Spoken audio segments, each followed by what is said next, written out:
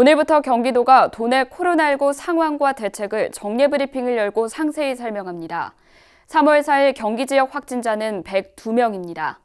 이런 가운데 대구 경북의 상황이 위중해 경기도는 오늘 대구 경북 중등도 환자 일부를 경기도 병원으로 입원 조치했습니다.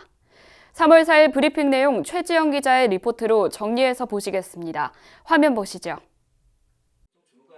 오늘 3월 4일 0시 기준 경기도 코로나19 확진자는 총 102명.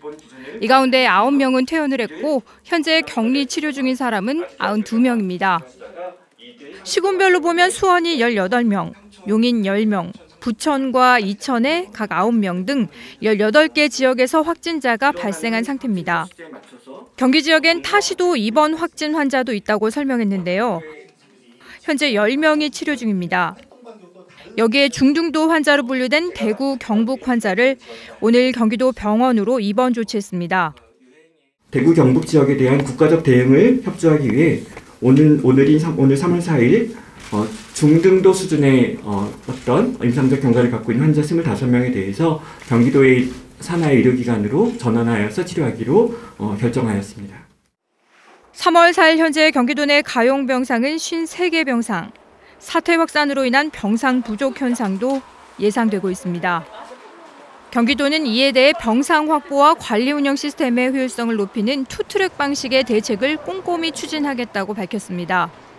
세부 대응책을 내놨는데 경기도형 확진자 건강관리 시스템을 구축해 운영한다는 내용입니다. 확진자의 건강 상태를 어, 효과적으로 분류하고 중증도 분류하는 플랫폼 그리고 치료 자원을 관리하는 플랫폼을 각각 개발하고 연동시켜서 어, 효율적으로 운영하고 어, 간호사 등 의료인이 배치된 안심 콜센터를 운영할 예정입니다. 확진자 건강관리 기준안도 마련해 데이터베이스화하기로 했습니다.